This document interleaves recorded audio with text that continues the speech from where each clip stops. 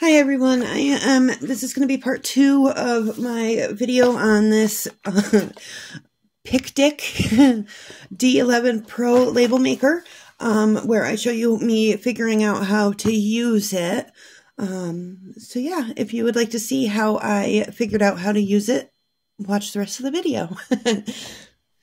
okay, so I'm trying to set up this label maker thingy, um, and I got to the paper part, and I took this little um, sticker off that was holding it down.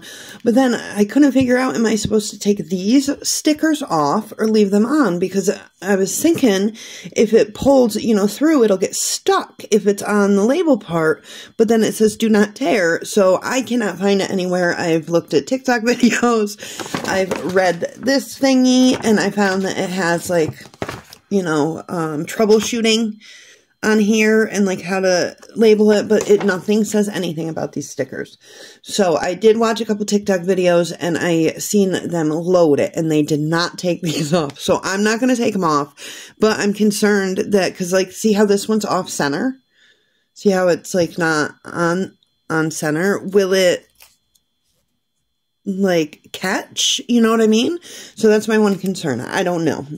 But um, it says not to do that, not to take it off. So I am turning this back over, opening the thingy-mabobber,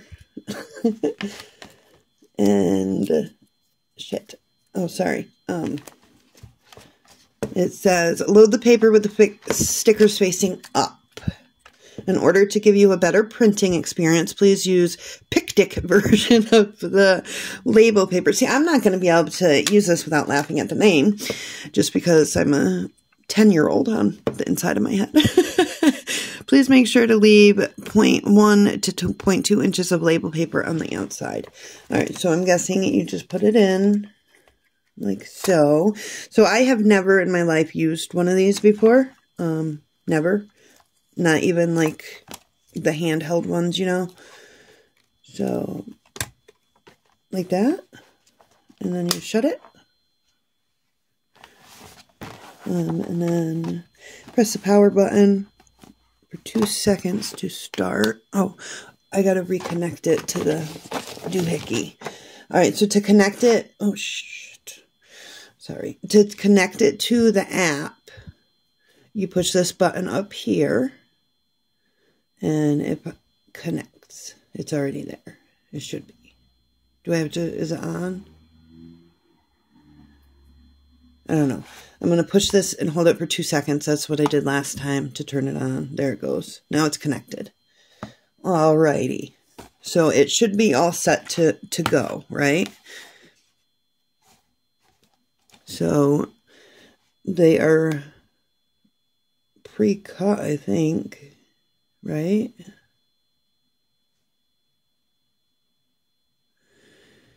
Um, oh, look, it's got like emotions. That's cool.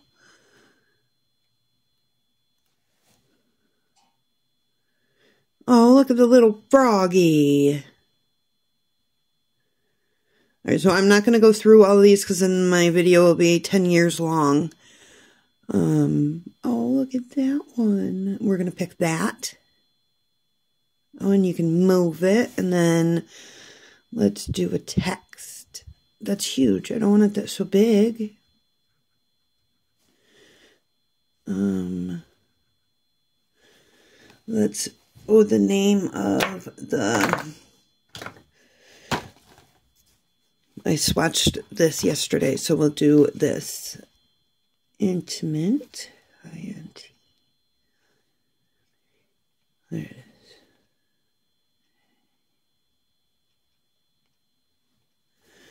Okay. But it's way too big, so we gotta make it smaller. There we go. Okay.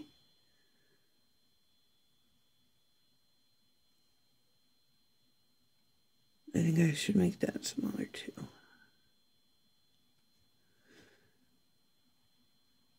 Because I got to write from Purple Phoenix on there.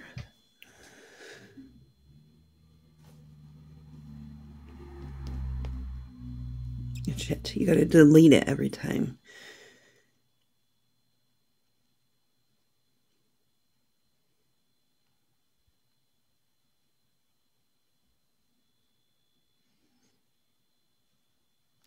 Okay, now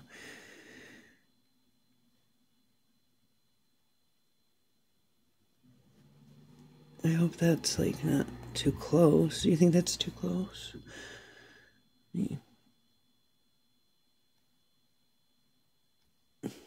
Yeah, okay. We're going to try that. Let's see. And it says 15 by 30. I hope that's the right thing. I should have checked that. All right, we're going to just try it. So we're going to hit print and see what happens. Okay, nothing happened. All right, we're going to hit it again. oh. Oh, it worked. It only did half of it.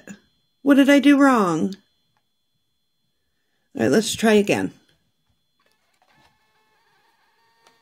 Okay, I didn't have it sticking out far enough. All right, so it worked. That's cool. I know this video is going to be end up being kind of long, but um, cool. Um, I just wanted to say real quick, so I figured out how to use it. Um, I got the labels here, and they come off really easy. You just, you know, unstick it.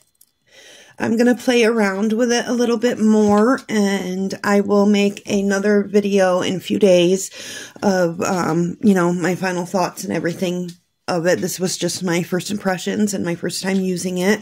I think it went pretty good.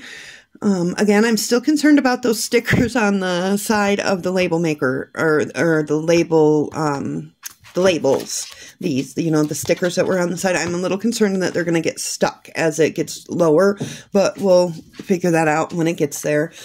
But all in all, it was pretty easy. I mean, it's pretty self-explanatory. You open it, you scan the little thingy, you read the directions, and you do what it says.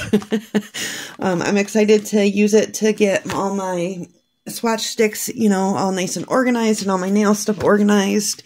Um, thank you so much, T, for sharing this with me. I am tagging her and linking her to these videos in case anybody else would like to get this because it is really affordable and um, it's pretty neat. It's got all, like, the app has a whole bunch of different templates and, like, um, I found it had like frames to go around the the label thingy and I think you can get labels from other places for it too. I'm not sure, but I'll find all that out and put it in my updated review video.